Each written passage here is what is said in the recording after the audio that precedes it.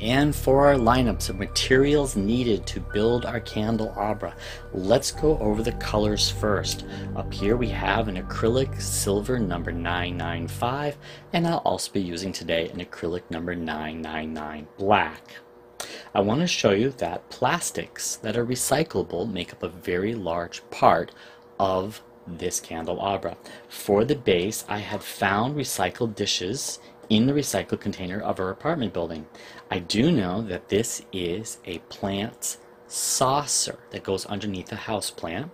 This is a microwave rice dish, instant, one minute. And this container here is from Burger King, which either held coleslaw or corn. I have five yogurt containers, and what makes them so special is we need to have this conical shape that goes down.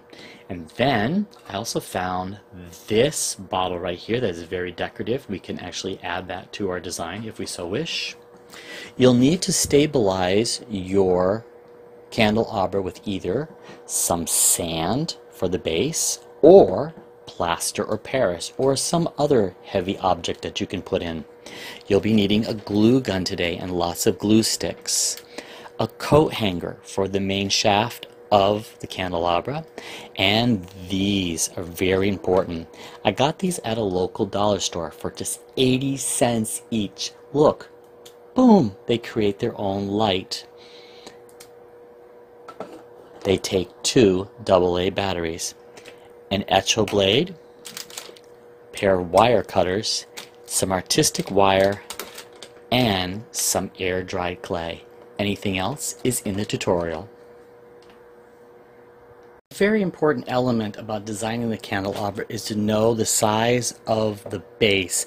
Do you want a wider base like this or do you want more of a narrower base? But you got to make sure that you have enough space in there to be able to fill it with a heavy object so it holds down because we're going to be building on this and building out. Now I'm going to be showing you what we're going to be doing. I do like this base because it has that nice flare to it. However, due to the size of our candles today, I have chosen this saucer. Now what we're going to do is we're going to cut our coat hanger. Be careful always with knives and any type of instrument. And we have some wire today. What we need to do is we need to bend like so, our wire, and then put a hole in the base and then drive that up through and stabilize it. So let's do that now. Punching a hole in that was quite easy and I made the angle go to the side. Now by using your hot glue gun, let's start stabilizing this. We're just going to build up a little bit of a, a hold and let that dry and make sure that the hole at the top is also sealed. Very easy. And once you get that done, it should look just like that. The hot glue is now secure at the bottom and looking like we can stand that up. Hey, look at that. All right, let's now fill the base with something heavy and really make this into a stand. What I got here is Amazon Prime box, right? And I have our stand. I'm just going to poke a hole. Look at that. Went right through. Boom.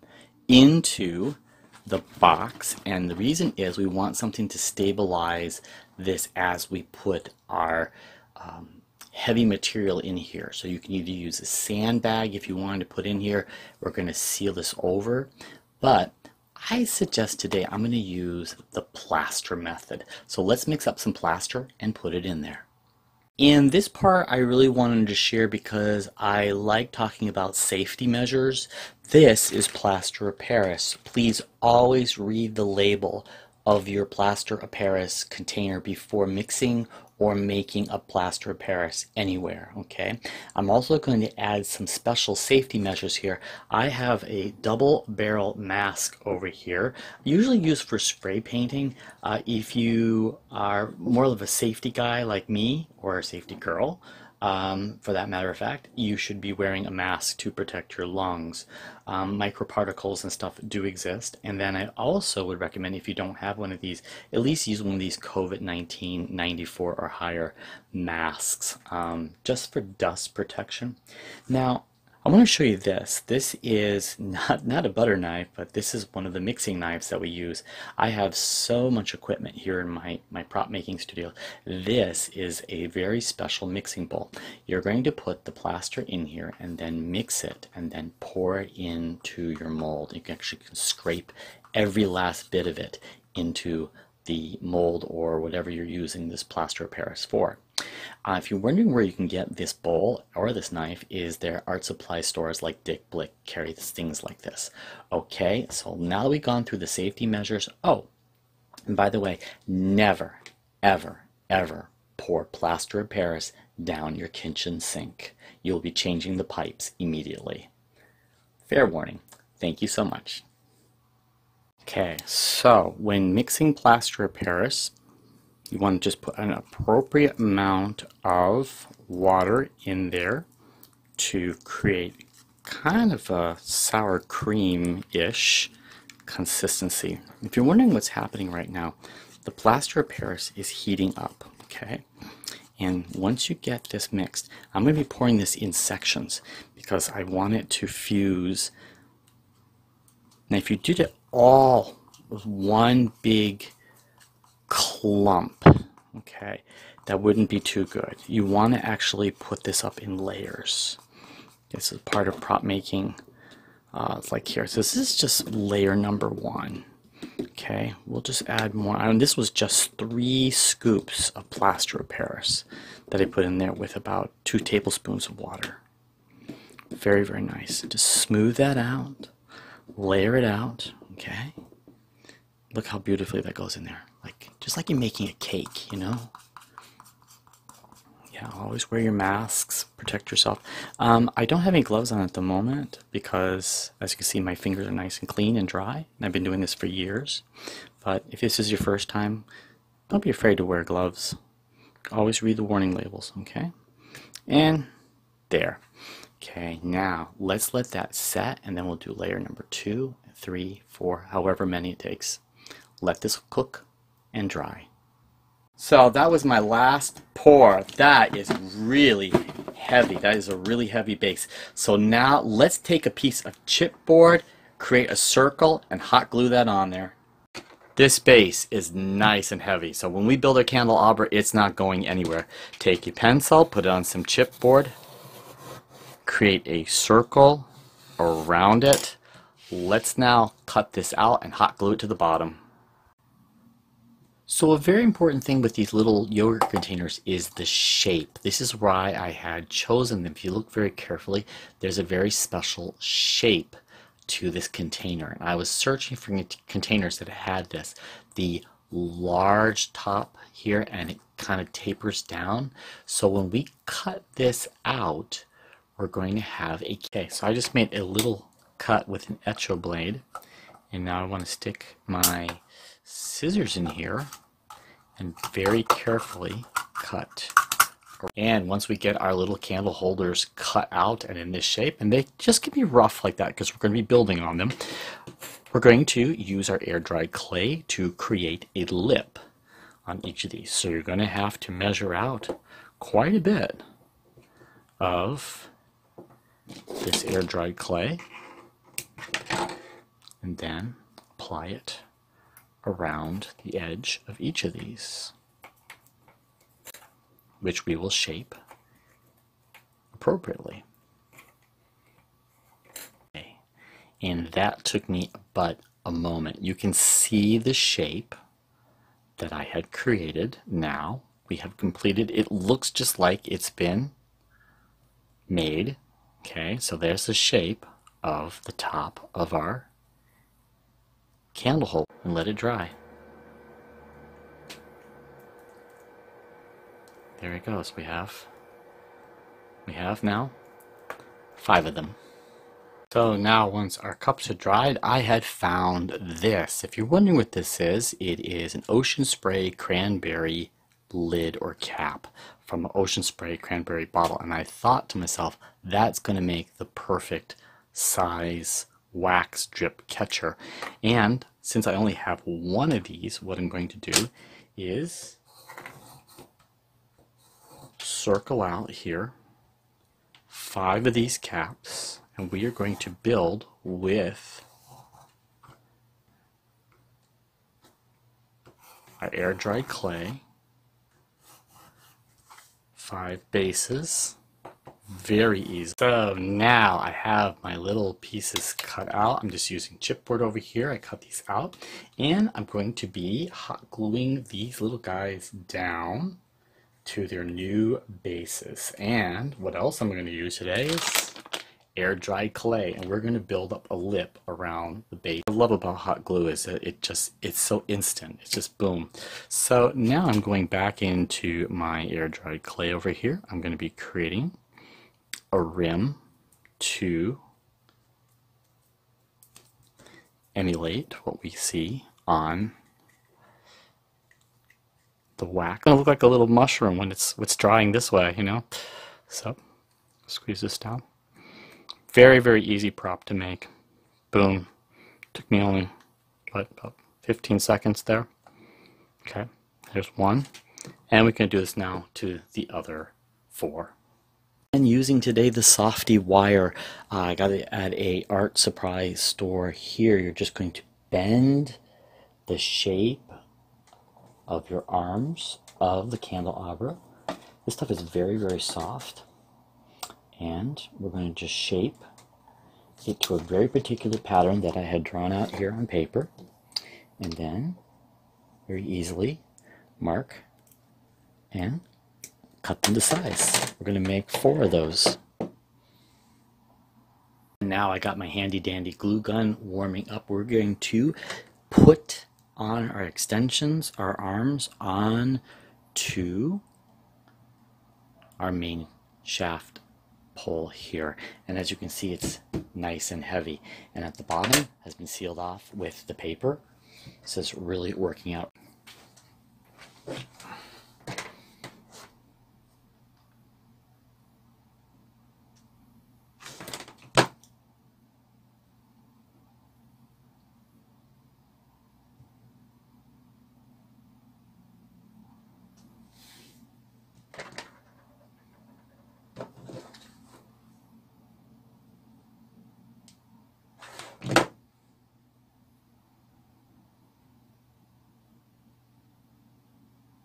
So what I have here now is the coleslaw container, which I just cut a line through it and then used a little awl and poked a hole in it. My hot glue gun is still up and running. We're just going to very gently slide this there and pop. Instantly it will go down. So now we have a much shorter space to put the decoration and the air dry there. So let's hot glue this down. And I also have that portion bottle that I like, so I'm going to add that on there as well. Now, I could have gone and just put all this over this before I did the project, but I wanted to see how large that chandelier arm armature was going to be before I assembled this to make sure that these work together quite nicely. So with our glue gun, still hot, let's apply this down. Now, once that is dried, now comes the fun part. We are going to use our air dried clay to create the main body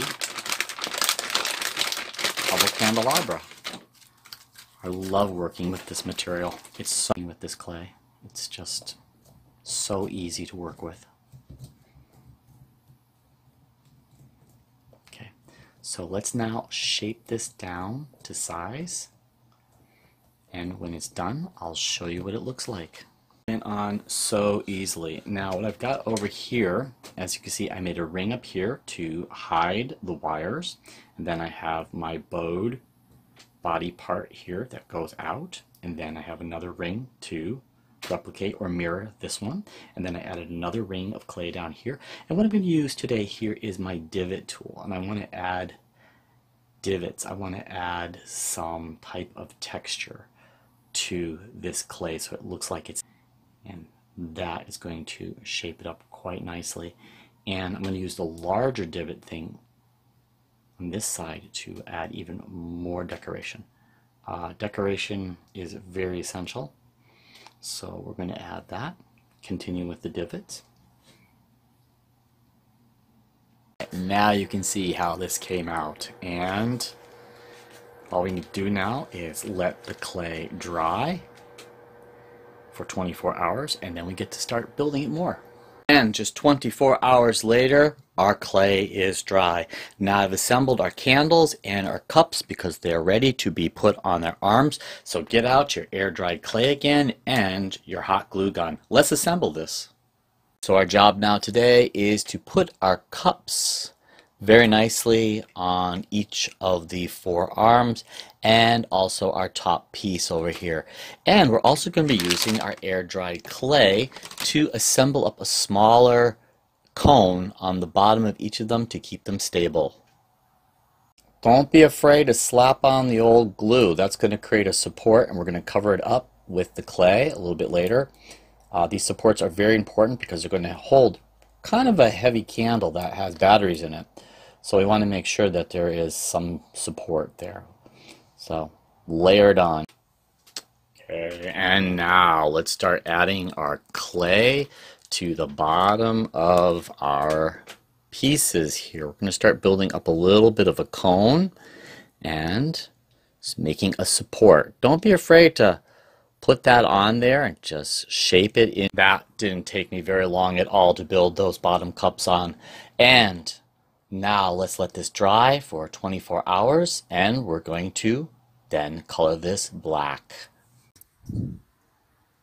And this is how absolutely amazing it looked once it was sprayed black. Now you can paint it black with acrylic paint. It would take a little bit of time, but uh, also as I say that there's no texture on here. If you wanted something with more texture, uh, then I'd uh, highly subscribe to using the acrylic paint. However, in this case, I sprayed it to give it a nice shiny effect. So today I am using the silver number 995. I'm also using the alpha number 999 black. You can see the ratio is 75 to about 25% here. And what we want to do is we want to contaminate this silver a bit. We just want a tiny bit of, we don't want to use full strength silver. We actually we want to actually contaminate this down. And the reason is we want to have a finish that is candelabra, painting it up by hand this time.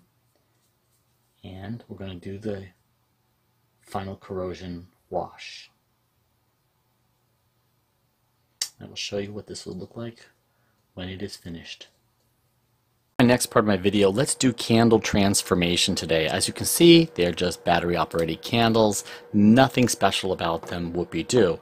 Well, we're going to do something very cool. We're going to make them look like candles. We're going to use our hot glue gun today. We're going to create drips of wax on there. Of course, we're going to turn them around and to create that perfect wax color, beeswax color, I'm using a titanium white number 901 from our previous collection. And today I'm going to be using a drop of 970 pastel enamel. Now, if you don't have this, use any type of yellow and then just add a lot of white to it and that will be equivalent to it. So let's now create illusionary candles. Let's do it there. Now, once we completed the top, I'm going to go drop down a little bit. We're going to create drips from here down in a larger amount. Yep, there it is.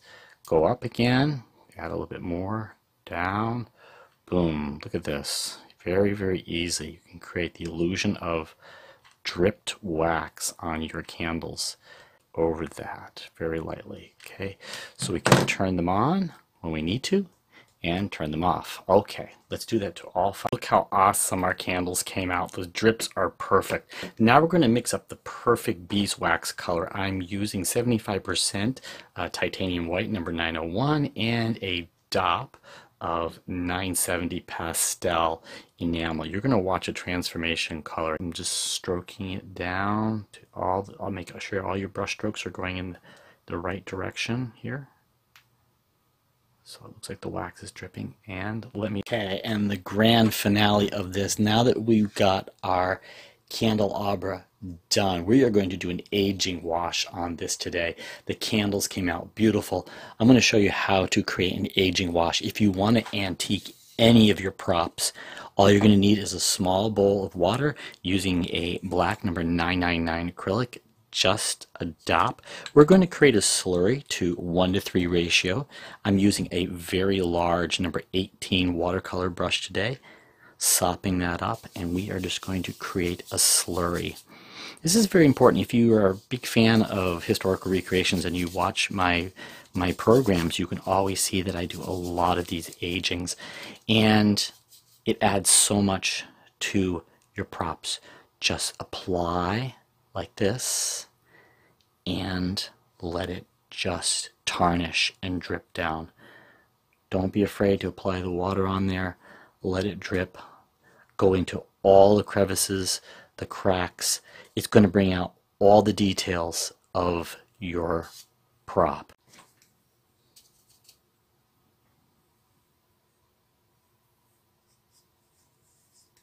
Okay, so now comes the part of the assemblage. Please note that all the candle switches are up, so we're going to hide them. So we're going to turn the switch around so we can't see that. That's going to be the front of the candelabra, so we want to put those candles in directly into the base of each and every one of them. Always start off with the center because you want to start off with balance when you do this.